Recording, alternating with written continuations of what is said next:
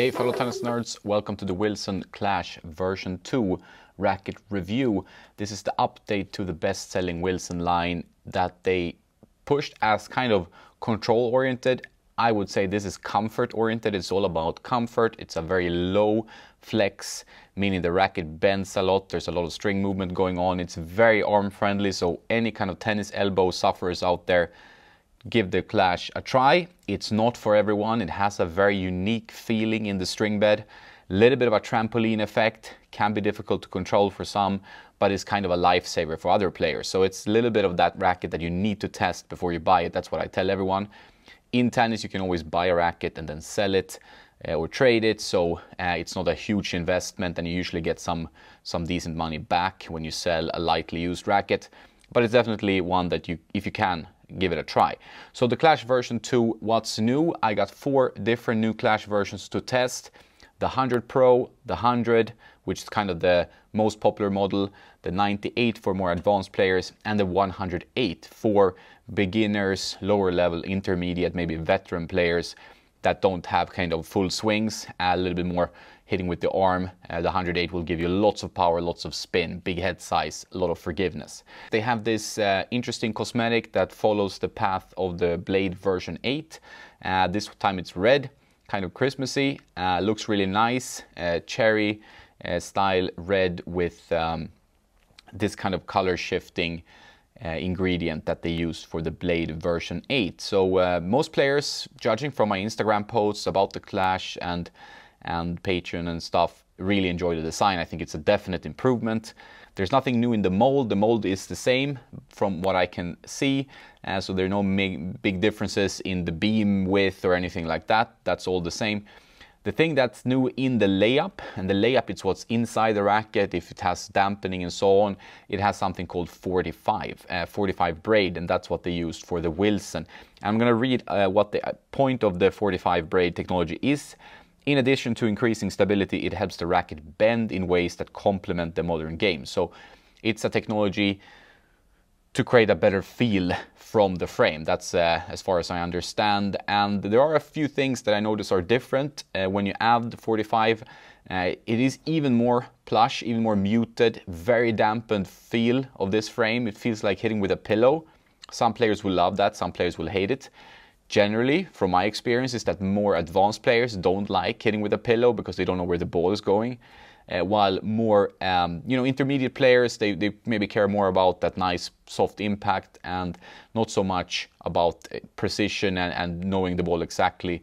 They would uh, enjoy this feel. So uh, for sure, uh, an improvement, a bit of a refinement in feel uh, I would say, but it might not be everyone's cup of tea. It always depends, you know, it's a very personal thing, a tennis racket. So, uh, but this is what's new in the whole layup. There are also two new things for two of the rackets. So the Clash 98, which is the more advanced player frame, and the Clash Pro, which has more power than the 98, but it also more weight and swing weight. That now has a 1620 pattern instead of the 1619. And the difference uh, of adding that extra cross string is that you get a little bit more control, a little bit more directional control on flatter shots.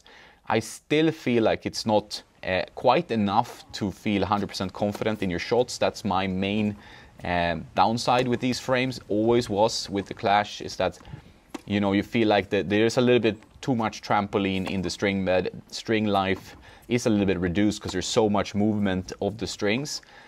But if you value comfort and you hit with bigger targets, you will overlook this, you will be fine.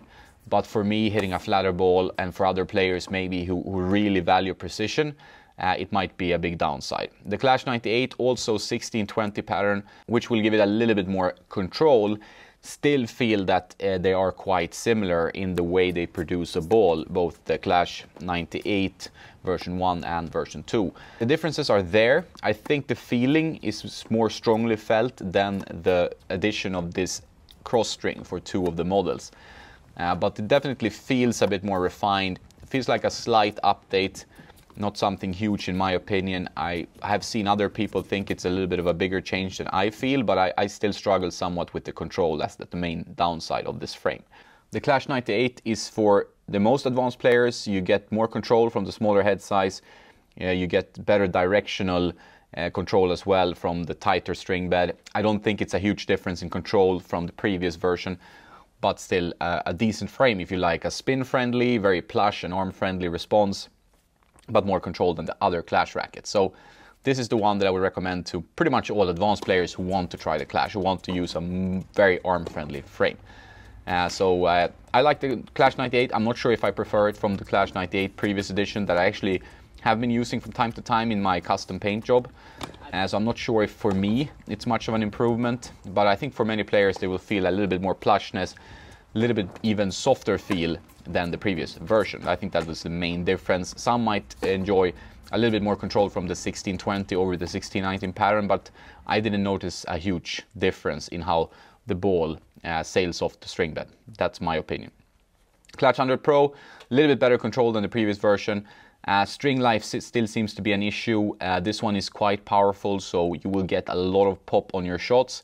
And if you want power in an arm-friendly package, the 100 Pro is a good choice. It's very headlight, so even those extra 10 grams of the 100 Pro will not be an issue for most players who, um, who have a decent swing and decent technique. The Clash 100, very similar to the previous version, a little bit softer, a little bit more like a pillow, uh, better looking obviously. So a, a, good update for for most clash users i would say to go to the clash 100 the clash 100 is definitely the best selling frame the one that can be used by most players um, even beginners. Uh, very low swing weight i think around measured around 307 strung with a poly 130 gauge. This was the um, Grapplesnake Tour M8 I feel for me that the, the Clash rackets work better with uh, a quite stiff poly to, to mitigate some of that stiffness to to kind of balance out some of that softness from the frame. I think if you get a little bit crisper response, more of a balanced feel. But if you like a pillow, if you like that ultra soft response, you can string him with a soft polyester or even a multi-filament. But I think most players get more out of the clash with uh, polyester, but you can string it at a, a, little bit lower tension if you have arm issues. But these are very arm-friendly frames. So the Clash 100 will be the best seller.